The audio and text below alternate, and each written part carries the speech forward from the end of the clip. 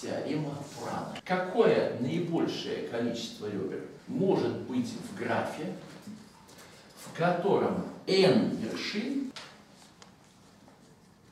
и для начала нет подграфа полного на четырех вершинах. Понятно формулировка? Да.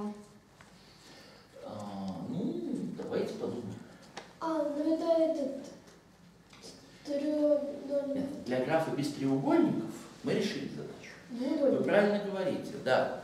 Э, Там двудольник. Когда без треугольников, то там ответ такой, да? Да, КХ.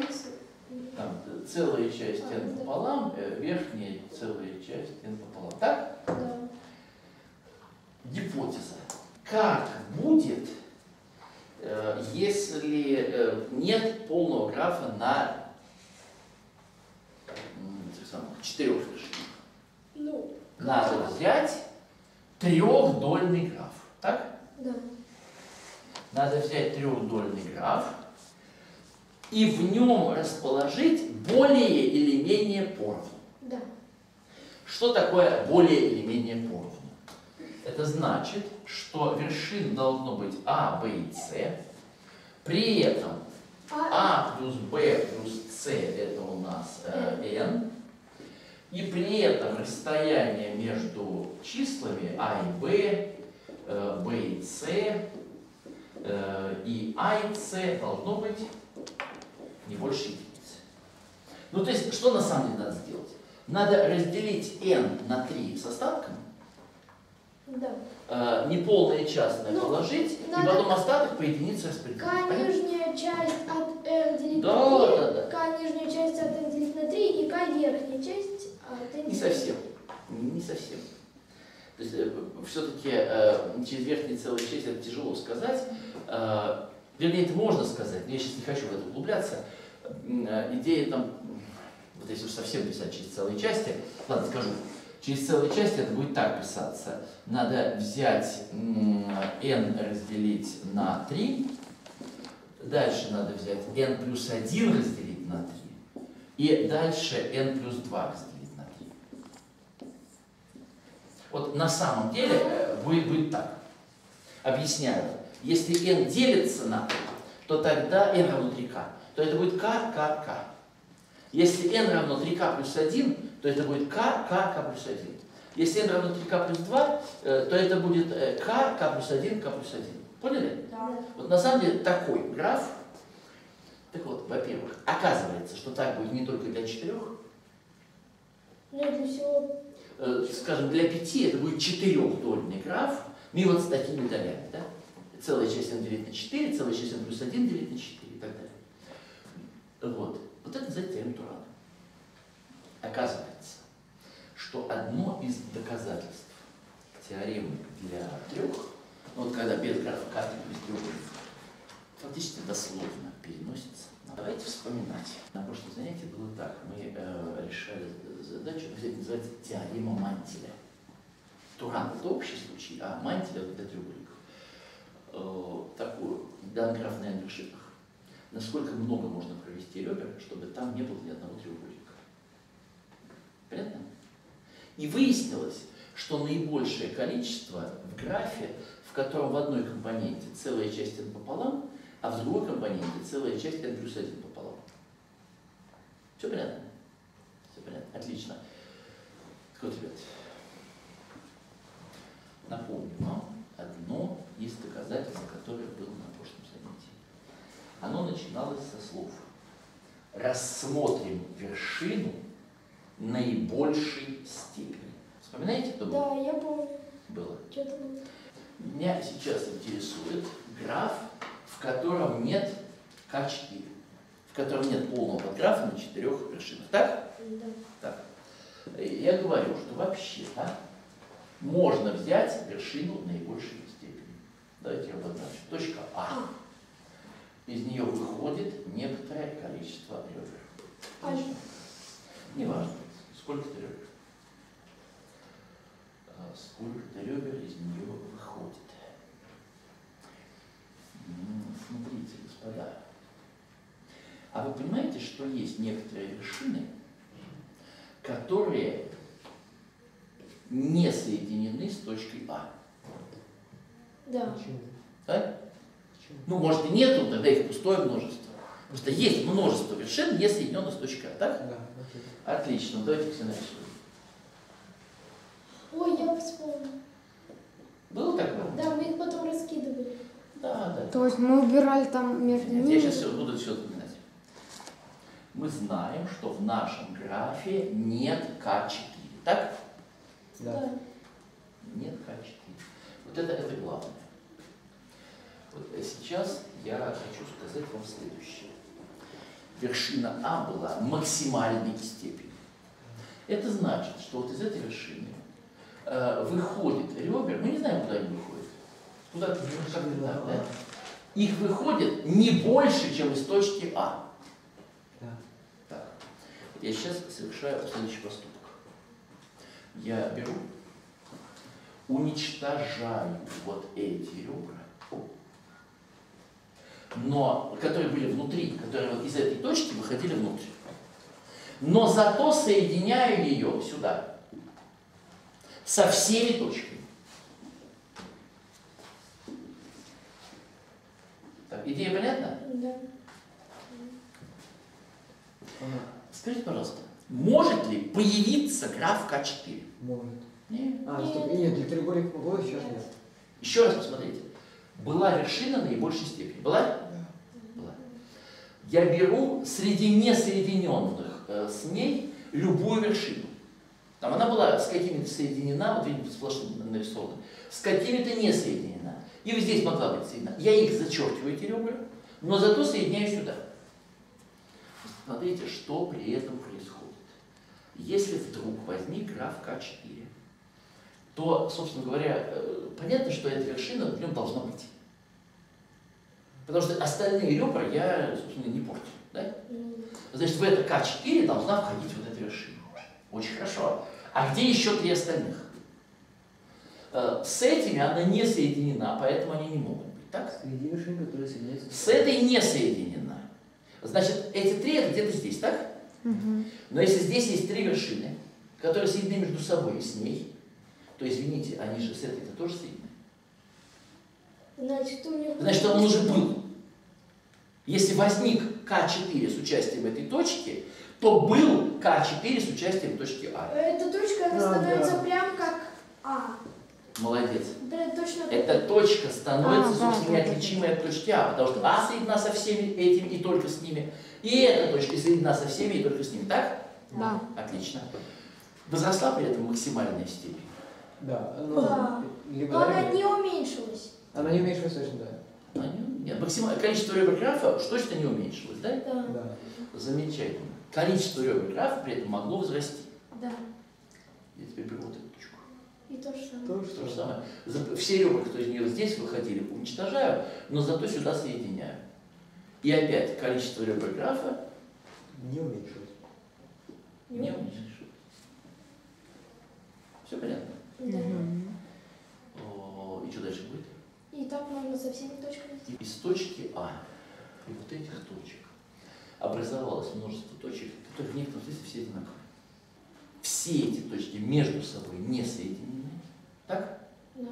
Но зато с каждой из этих соединены. Теперь, ребят, понимаете, что если у нас есть К4, то в него может войти максимум одна из этих точек. Потому что здесь вот они между собой будут не соединены. Мгм. Поэтому в полный граф не могут войти они вдвоем, да? Замечательно. И значит, какое требование будет на вот эти точки? Там нет чего? Нет, качества. Треугольник. А, ну да, нет. Не К4 уже. Только это соединено со всеми. Раньше шел разговор о том, что нет Качества. К4. Когда мы эти точки выкинем, не будет чего? К3. К3. Но про К3 мы задачу знаем. Да. Это какой граф? Максимальное количество ребер в полном двудольном графе, когда количество точек почти одинаковое. На, ч- Так? на четырех. Почему на четырех? Ну, более-менее на Ну, пол- треугольник. половинка от оставшихся вершин. И значит, А. смотрите, точка А вместе с этими теперь образует одну долю. Собственно, вот они нарисованы. А, да. Э, А вот этот без треугольника разобьется на две. Дошло? Дошло. Теперь, почему А, Б и С будут отличаться друг от дружки не больше, чем на единицу? Э, Как с прямоугольником из Конечно, конечно. можно нарисовать. Представьте себе, что вот эта доля будет очень маленькой, а наоборот эта доля будет очень большой. Тогда мы можем сделать очень простую вещь. Можем точку из большой э, перебросить в маленькую. Что при этом произойдет? Э, при этом м, вот Она- эта точка... Она потеряет А плюс С и получит Б плюс С. Вот, а так как э, там А маленькая, было больше, да, значит она останется в плюсе только. всем понятно? И количество ребер возрастет. И поэтому э, максимальное количество ребер будет, когда числа А, Б и С почти одинаковые. То есть отличаются друг от дружки не больше, чем на единицу. И значит количество будет вот вот такое. Так вот, господа, очень важно, очень важно, что это общее количество. Что если у вас э, ставится задача без КМ-того, понятно, да? Без полного графа на вершинах, то ответ в этой задаче будет какой? Э, э, ответ n деленное на Количество ребер графа целая часть от n деленное на m минус 1. Почему минус? Потому что А, да, m минус 1. Потому что для трех было Да, да, два. да, да. N, ну, И пока n минус плюс m минус 1, Нет, Не минус один, по-моему. Давайте подумаем. Э, Здесь должно быть всего m минус одно число. да. У меня есть ощущение, что m минус 2. Вот давайте подумаем. Если m равно 3, да-да-да, m минус 2, э, делить на m минус 1. Так, Идея понятна? Э, Числа n плюс 0, n плюс 1 и так далее, n плюс m минус 2. Здесь всего m минус 1 число. А, да. да. Вот такой m минус 1 дольный граф, Да. в котором количество вершин вот такие. Ну, вообще-то мы доказали теорему. Доказали? Доказали. Доказали. А теперь, что у меня есть? У меня есть листочек. 22 писателя. Каждый из них прочитал произведения трех из этих 22 писателей. Докажите, что можно найти четырех писателей из этих 22 так, что никто из них ничьи книжки не читал. Ну, давайте я э, ос- э, объясню. Значит, есть граф, в котором э, 22 вершины. Понятно? Да.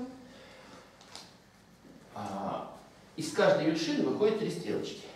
Ну, в какие-то три другие. Э, докаж- Стрелочек всего тогда 66, да? Мгм. Докажите, что можно найти четыре вершины, У которых стрелочек между собой Да, вообще не у которых между собой вообще стрелочки нет. Все шесть. 66, да? Э, Ну, то есть три, Надо найти, сколько способов можно четыре вершины взять. Сколько? 3 умножить на 22 это 66. 66. А теперь такой вопрос. А сколько может быть ребер в графе на 22 вершинах, если там нет полного четырехугольника? Это же мы сегодня уже решали. Как выглядит максимальное э, количество, повторяю, когда нет полного четырехугольника? Ну, это 7, 7 и 8. Так.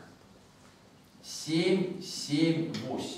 Мне Все кажется- согласны, что э, это разбиение числа 22 на три слагаемых. Да. Почти не, не отличим. Мне так? кажется, вот эта восьмерка, она и будет причиной. Нет. Сколько не ребер всего?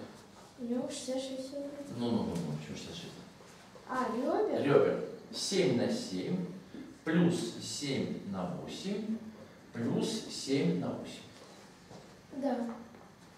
Это все понятно? М, В нем ребер вот столько штук.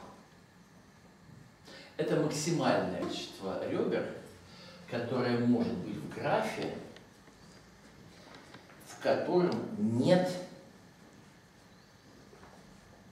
э, ни одного четырехугольника. 161. Сколько? 161. 161. Точно посчитали? Ну, можно А 7 на 8 это 56, Да. 56 на 2 это 112, а Да. 49 это 50 минус 1. Да. Получается 112 плюс 50 это ж 162, Молодец. и минус 1 Да, 161. 161 ребро, Да. А стрелочек Да, стрелочка. 66. А вот стрелочка. Казалось бы, они как-то странно между собой связаны. Непонятно как. А, Вы ну, подумайте, что вам нужно. То есть Надо- 161 минус 66 это сколько? Нет, не то. Еще раз, вы, вы на самом надо, деле надо понять, где стрелочки не проведены. молодец. Нам же нужно, внимание, не там, где стрелочки есть. А там, где их нет. Ведь нас что спрашивали? Докажите, что найдутся четыре писателя. Каких писателя? Между которыми стрелочек нету. Между которыми, между любыми двумя стрелочки нет. Ребята, поэтому на самом деле меня интересует не эти 66, а наоборот, все остальные. Так, а этих остальных, Можно надо посчитать, сколько вообще может быть стрелочек, а потом минус надо посчитать, сколько ребер в 90. графе, в полном графе на 22 вершинах,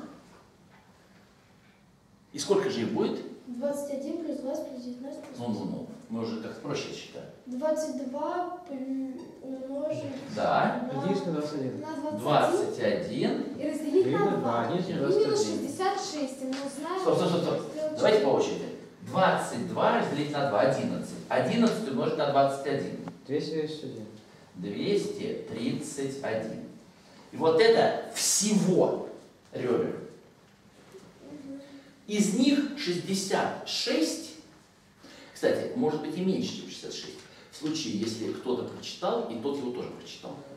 Но э, не меньше, чем 231 минус 66, сколько будет непрочитанных? Это сколько? 165. Сколько, сколько? 165. 160. Точно? Да, я понял. 5.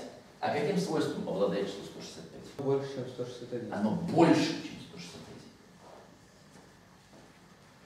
Ну, 4. Неважно сколько. Оно больше это Оно главное. больше. Так, ребята, давайте вдумаемся, что здесь написано. Ну, значит, э? Не, не давите. У нас есть 22 человека, так? да. Смотрим на пары. Сколько э, вершин в полном графе на 22 точках? Сколько пар? Число сочетаний из 22 по 2, так? Как считать, мы знаем. Надо 22 умножить на 21 разделить на 2. Была такая формула?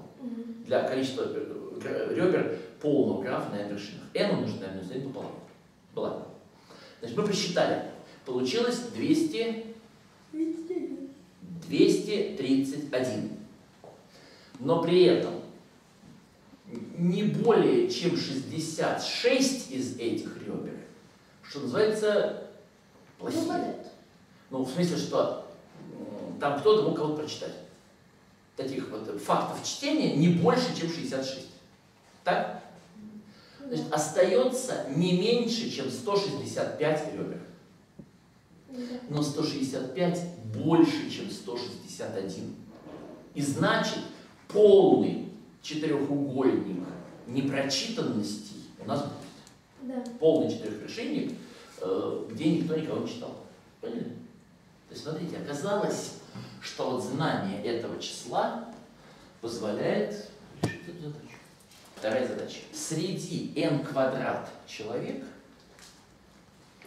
каждый имеет не более чем n знакомых. Ну, знакомство при этом симметричное. да? Э, докажите, что можно выбрать n человек, никакие двое из которых не знакомы друг с другом. То есть, э, давайте, как эта задача формулируется. Есть граф, в котором n квадрат вершин. Понятно? Да. n квадрат вершин. И сте- степень у, эти, у каждой вершины больше, чем n. Да, степень любой вершины не больше, чем n. Доказать, что в таком случае там есть э, независимое множество из n человек. n человек никакие двое не знакомы, называется независимое множество. Сосчитать все, все ребра, а потом... Так, сосчитать все ребра, это я умею. А потом... Э, сосчитать- все ребра, это будет э, n квадрат умножить на n квадрат минус 1 пополам. Отлично. Дальше. А должно быть... Надо эм, вообще знак. Надо, надо найти n. Надо найти максимальное количество Чтобы не было n... г- при, а, не- где нету n, а, k, n в плане. А, э, граф без Да, каенного. да, граф без корня. Ну, для этого надо n квадрат разделить на n минус 1 э, более-менее равных кусочков. Это не трудно, кстати. Э, Дело в том, что n квадрат минус 1 это n минус 1 умножить на n плюс 1. Поэтому смотрите, что такое n квадрат? Это n минус 1 умножить на n плюс 1 и еще плюс 1, так? Значит, как будут устроены наши доли? Они будут устроены так. По n плюс 1 э, в каждой доле, э, по n плюс 1, и еще будет одна доля, в которой n плюс 2.